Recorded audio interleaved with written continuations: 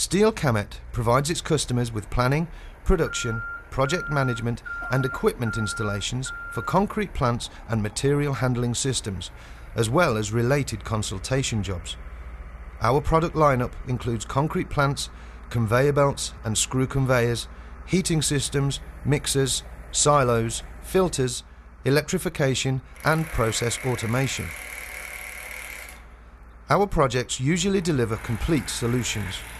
They include planning, complete technical documentation, manufacturing, project management, transportation and installation.